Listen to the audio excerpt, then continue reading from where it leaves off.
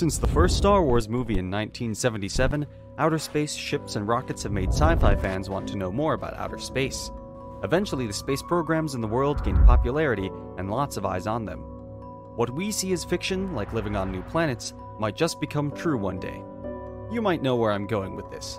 Yes, I'm talking about Musk's dream of taking humans to Mars in his Starship. In today's video, we'll take a look at how Starship and other rockets compare. To begin with, what exactly are rockets and starships? Starships theoretically are large manned spaceships used for interstellar travel that is meant to take you between two planetary systems. Starship is SpaceX's rocket that's going to take humans to Mars in the near future. Whereas the word rocket can mean various different things, like tall, thin, round vehicles, or a type of engine or vehicle that uses the engine. Rockets are mainly used for fireworks, weaponry, ejection seats, launch vehicles for artificial satellites, human spaceflight, and space exploration. The most common type of high power rocket are the chemical rockets, because they create high speed exhaust by the combustion of a fuel with an oxidizer. They work on Newton's principle of the third law of motion, which states that for every action there is an equal and opposite reaction. Rockets also work by action and reaction law. They push forward by expelling their exhaust in the opposite direction at high speed which can therefore work in the space vacuum. Moreover, rockets work more effectively in space than in the Earth's atmosphere. To control their flight, rockets must rely on momentum, airfoil, auxiliary reaction engines, gimbal thrust, momentum wheels, deflection of the exhaust stream, propellant flow, spin, and gravity. Rockets use aerospace grade aluminum or titanium, both metals are very strong but lightweight for the mainframe. However, carbon composite structures are being researched for future use on mainframes since aluminum melts at high reentry temperatures. Rockets are made up of four different parts the structural system, also called the frame, which is similar to the fuselage of an airplane, the payload system of a rocket that depends on the rocket's mission, the guidance system that may include very sophisticated sensors, and the propulsion system that consists of liquid fuel and oxidizers. The latest rocket today is the Falcon 9 by SpaceX. It is a reusable two stage rocket designed and manufactured by SpaceX for reliable and safe transport of people into Earth's orbit and beyond. It is the world's first orbital class reusable rocket. SpaceX is able to refly the most expensive parts of the rocket because of its reusability, which in turn becomes very cost efficient for the company. The Saturn V was an expendable rocket NASA built so astronauts could go to the moon. It was called a heavy lift vehicle because of its powerful lift capacity. This rocket could carry 310,000 pounds or 140,000 kilograms to low Earth orbit. To this date, the Saturn V remains the only launch vehicle that has carried humans beyond low Earth orbit. Between December of 1968 and December of 1972, 24 astronauts were launched to the moon for the US crewed Apollo missions. It flew a final time in 1973 with no crew members to launch the space station Skylab into Earth's orbit. It is also worth mentioning that NASA also created a Gemini launch vehicle called the Titan II and had a greater thrust to weight ratio than the Saturn V. Other recent US launch vehicles have a lower launch capacity to low Earth orbit compared to the Saturn V. The Falcon Heavy vehicle, manufactured by SpaceX, has the maximum payload capacity of 140,700 pounds or 63,800 kilograms. The Atlas V has a capacity of 41,478 pounds or 18,814 kilograms, the US Delta IV Heavy's capacity is 63,470 pounds, or 28,790 kilograms, and the European Ariane 5ES delivers up to 46,000 pounds, or 21,000 kilograms, and finally, the Russian Proton M can launch 51,000 pounds, or 23,000 kilograms.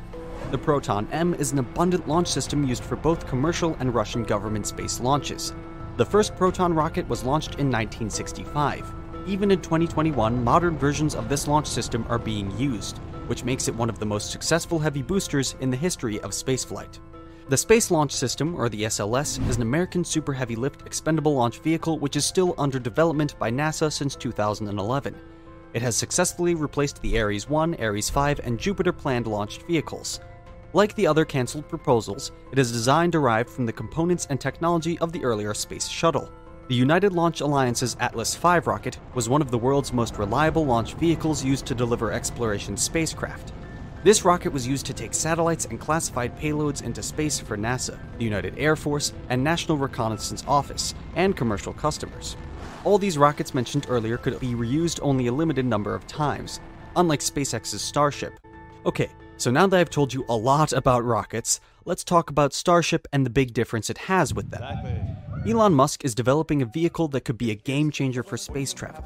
He said the alternative is to become a spacefaring civilization and a multiplanetary species, which I hope you would agree is the right way to go. Musk has often spoke about his dream of building cities on Mars. He believes in the settlements of large numbers of people in order to become self-sustaining. The Starship system began development in 2016 as a self-funded private spaceflight project. After four years, work began on the Raptor rocket engine that powers both stages. The SpaceX Starship consists of a spacecraft, a Super Heavy booster, and an infrastructure that supports it on the ground. The Super Heavy booster measures about 70 meters or 230 feet long and will be filled with 3,400 metric tons of cryogenic methalox. This Starship will be a fully reusable transport system capable of carrying up to 100 people to the Red Planet.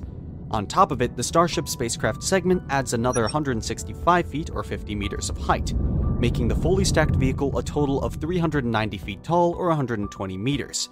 Not only is it going to be the most powerful rocket, but also the first to be made up of stainless steel hulls, 9 meter or 30 feet in diameter, as it has better thermal properties for spaceflight, which will indeed be cost efficient for the long run.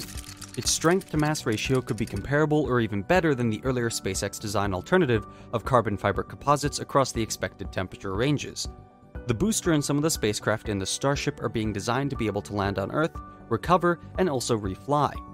Some spacecraft remain in space because they are created to be refueled for prolonged long term operations.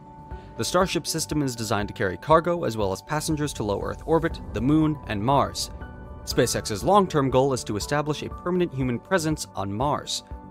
The upper section of the Starship is supposed to function as a second stage to reach orbital velocity on launches from the Earth, as well as SSTO, which stands for single stage to orbit on launches from Mars and the Moon and possibly many more planets in the future.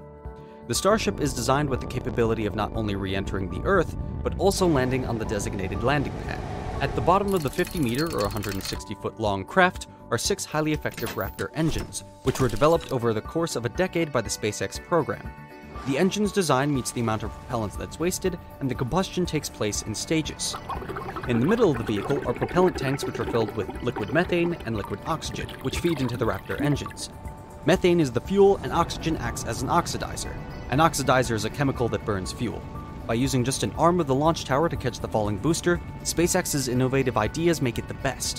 While sitting on the pad before even launching, this structure provides the engineers and crew members easier access to the spacecraft. Using Martian resources and refueling Starship for the return to Earth would bring a level of self sufficiency, making travel both more feasible and cost effective.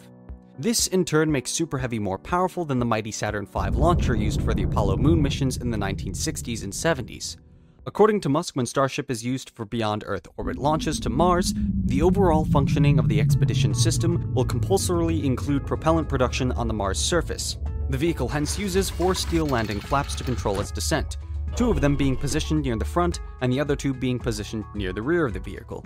This is similar to how a skydiver uses their arms and legs to control a free fall. It's quite different from anything else.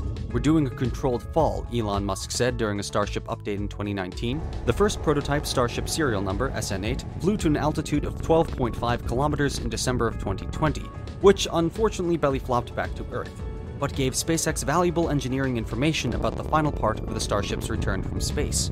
SpaceX plans to launch Starship on Super Heavy for its first orbital test flight sometime in 2021. The big difference with the other rockets is how huge the Starship is and how many people it can accommodate. It makes us realize how technology has progressed to such new heights from finding the most feasible and cost efficient way for the project to keep on exploring life on new planets. Space has opened up new possibilities, and we have been in search and exploring it for more than two decades. Starship has not only made it more eco friendly than other rockets, but also much more effective and more successful, which it is clear from the facts stated above. Let us know what you think of this comparison in the comment section. If you enjoyed the video, don't forget to like the video and subscribe. I'll see you in another video.